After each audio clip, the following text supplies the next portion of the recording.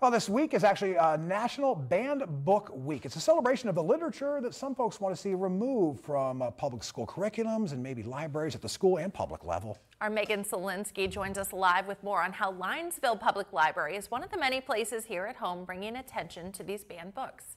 Good morning, Megan.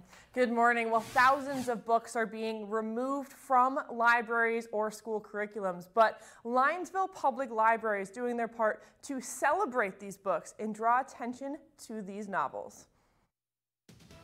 The Linesville Public Library takes pride in providing the community with public access to a diverse range of content. We're a public library, so we're supposed to have open access to pretty much everything. Renee Grout, the director of Linesville Public Library, has chosen to highlight the books that have been banned from libraries or removed from school curriculums across the country.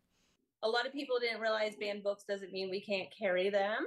So it's the kind of educating them on the banned books and not necessarily that not everybody i mean they're still published. You can still buy them. It's just in certain locations they have been banned. The library took to social media with their banned book display.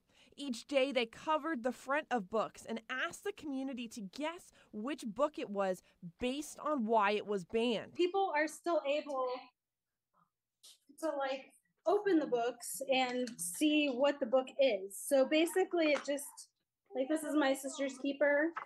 Um, but they can see why it's banned, and that was kind of a good way to highlight it on Facebook so people can kind of guess what the book is. The library hoped their display would spark an open discussion about censorship in our community and to shed light on some of the reasons why books are being banned.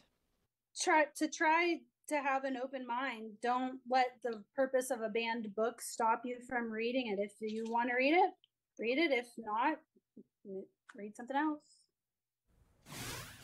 Well, the Linesville Public Library is encouraging all readers to come on down, visit their banned book display, or go to Facebook later this morning when they put their post out and try to guess which banned book it is today.